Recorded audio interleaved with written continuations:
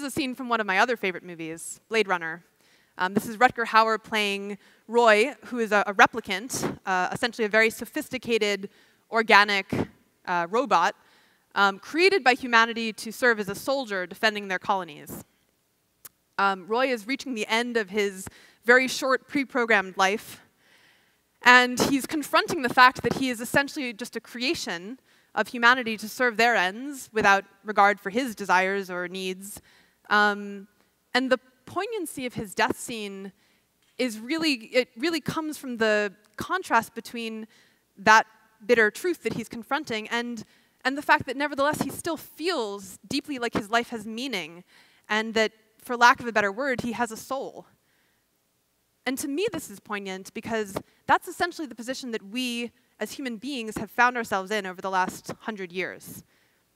That this is the bitter pill that science has offered us in response to our questions about what the meaning of it all is and where we came from.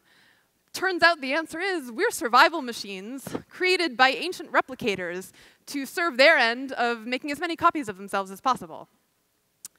Um, And the you know, decision-making processes that are programmed into our brains are not optimized for our interest. They're optimized for this interest of our genes, of proliferating themselves. And to make matters even creepier, the genes don't care about us. They don't, they don't much care whether we stay healthy and safe after we finish making copies of them. And they don't care whether we're happy.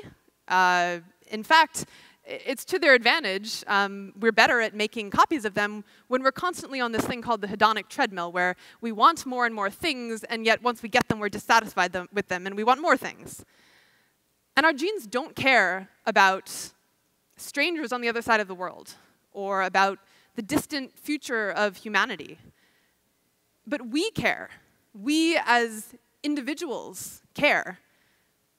And that's why this project of, of figuring out how to install new processes in our brains that allow us to optimize for our goals and not for the goals of these ancient replicators. That's why that project is so important and so inspiring to me. And that's why it feels like, to me, a crucial step in this process towards self-determination as a species.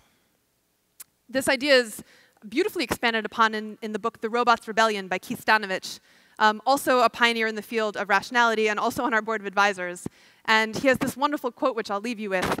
If you don't want to be the captive of your genes, then you had better be rational.